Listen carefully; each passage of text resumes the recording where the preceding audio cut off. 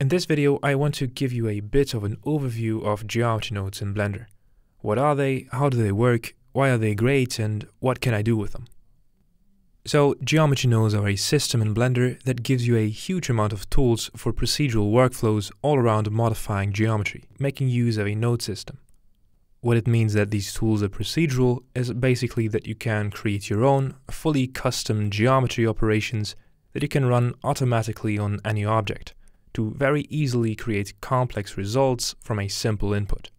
This means that you can build your own modifiers with settings and parameters that you can integrate into your workflow, share with others, or simply have an accessible way to interface with geometry data on a more fundamental level.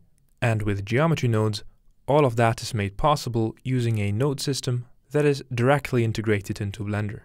Geometry nodes directly hook up to the familiar modifier stack that it can use to procedurally modify an object's geometry.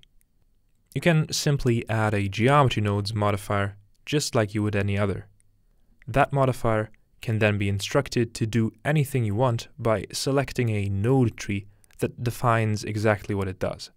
Just like other modifiers, it takes the geometry from the previous one in the stack, but now you get full control over what happens with that geometry using the node tree before it is passed back out to the next one. Once you have picked what node tree the modifier uses, you can also get a bunch of custom parameters which define settings of the modifier that you can adjust from the outside. But when you want to actually get full control over the modifier, you have to go to the node editor. And this is where the real magic happens.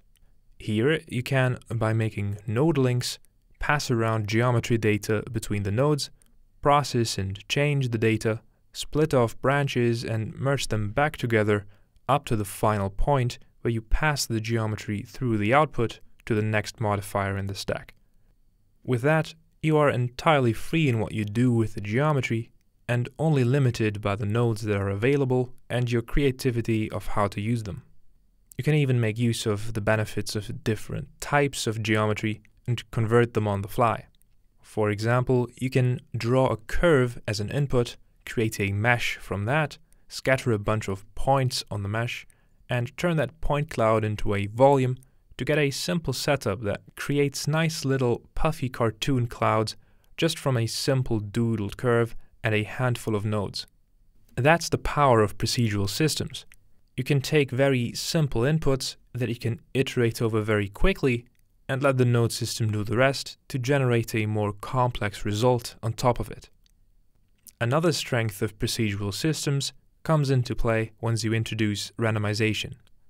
With random elements in your procedural generation, you can very easily and quickly generate a large number of random variations simply by changing the seed value of your random input.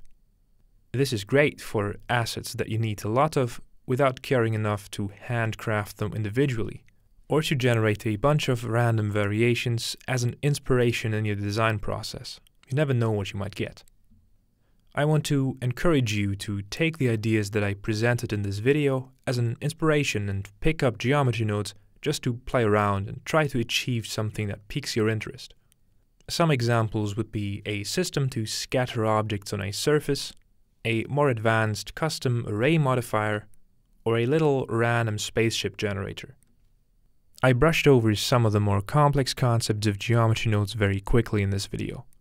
If you want to get a deeper understanding of how these things work, you can head over to studio.blender.org and check out our most recent course, Geometry Nodes from Scratch, where I walk you through all the concepts you will need to know with both a theoretical and a more hands-on approach.